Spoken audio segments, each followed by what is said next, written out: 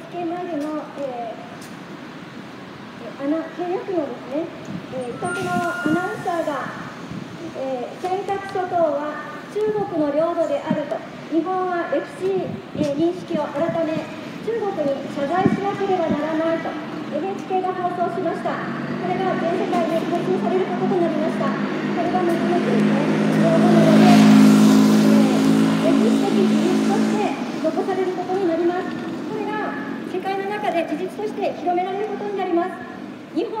は日本じゃない尖閣諸島は中国の領土である。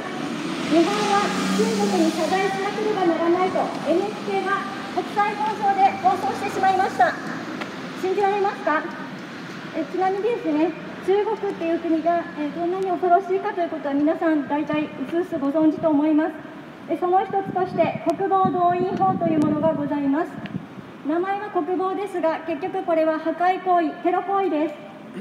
え例えばですね、え海外で暮らす、え中国人の方々留学生農作業に来ている研修生え、え自営業の方いろんな方がいると思いますがこれらの人たちがですね日本の中で普通に暮らしているように見えてもですねえひとたび、えー、シナ中教からの指令が下りれば国防動員法が下れば日本で一斉放棄していいということになっております。むしろそれに逆らったら殺されるというそういう国です、えー、しかもですね中国においては、えー、子どもたちのうちからですね、まあ、日本兵を標的に、え拳銃でバラ人形を突き刺す訓練銃を実際に撃って人を殺す訓練などをやっております。そして徹底した反日教育を行っております。そういった国からのですね中国人を業務委託で雇い尖閣諸島は中国の領土である日本は歴史的認識を改め中国に謝罪しなければならない。こういうことを放送してしまったのが NHK です。たった今ですねそれは中国人がやったことだから NHK がやったことではありませんともうすでに契約解除してますと。そういうことを言う方がこの建物から出てきたんですけれども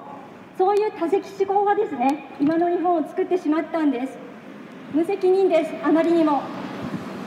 そういうことを許してきた私たち国民、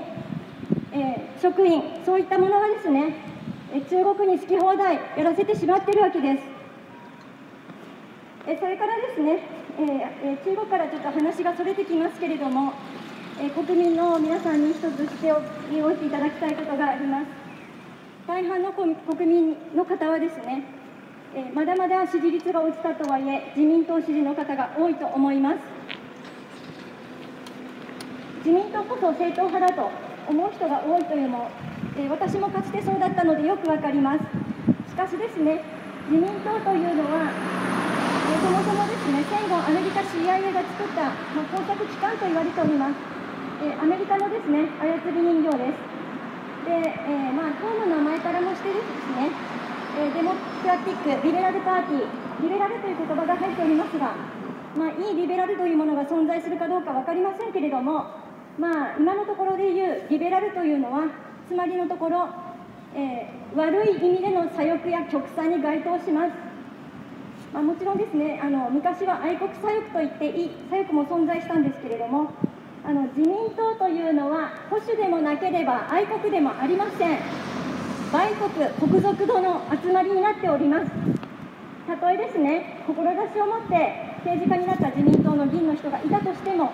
ひとたび組織に入ってしまえばその極左売国行為に加担させられてしまいます。もうあの浄化するということも不能です。でもう一度繰り返します。NHK はえー、品からのですね反日品からの、えー、アナウンサーを業務委託として雇いそして国際放送で尖閣諸島は